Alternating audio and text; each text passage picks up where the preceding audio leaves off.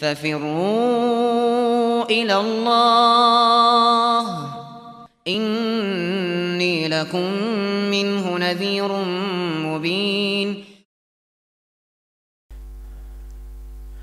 Apa perbedaan syarat syah dan syarat wajib?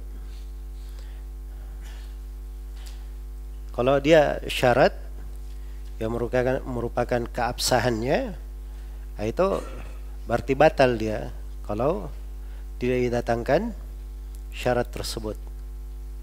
Iya.